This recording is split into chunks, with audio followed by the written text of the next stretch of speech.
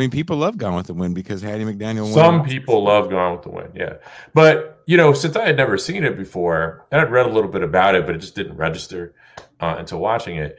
Uh, I was kind of not altogether clear on the controversy about the language in um, in the film, and in it, the original script had an overabundance of the N word, and the NAACP pushed back against that, uh, which I knew, but I didn't realize what they replaced the N word with until I watched the film, and it was darkies.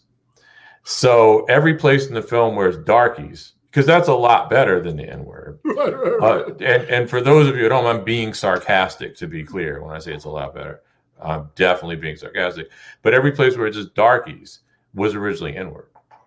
And so it's fascinating. And was it film 30, 1939 or something like that? Yeah. That that darkies was the term that the NAACP would settle on, right? And that that's not a criticism of the no, NAACP. Sure, right. It's a commentary on the nego- But can you imagine the exactly negotiations table for that? Right? Can you imagine the negotiation?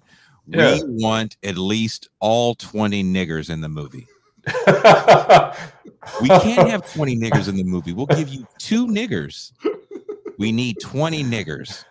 No, you can't have 20 niggers. Well, you can say nigger twice. Yeah, that's that. That sounds like it would have been like a, a, a skit from the uh, the the season of Chappelle show that was never made. You know, that's that would have been one of them. You know, they're doing the they're doing the negotiations for Gone with the Wind. How about we have ten niggers, twenty darkies, and and we'll let the maid have an emotion other than joy.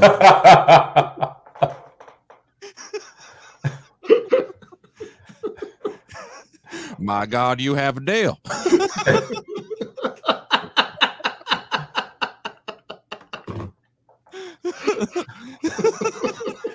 and in the film reenactment, the mm. deal making white guy would be played by Stephen Root.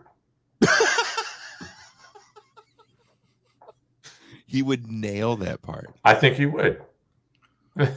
Dude, yeah. And he would channel the Bill Dauterive character, right? I mean, it would I'm sorry, melted, like but... the look, Ben, Ben, I'm so sorry about the emails you're gonna get after this show.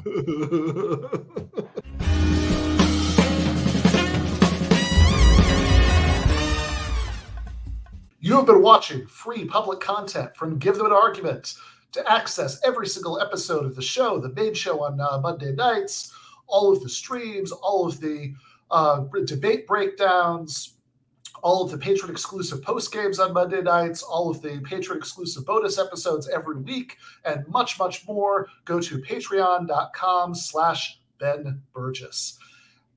I cannot resist ending this with don't be foolish.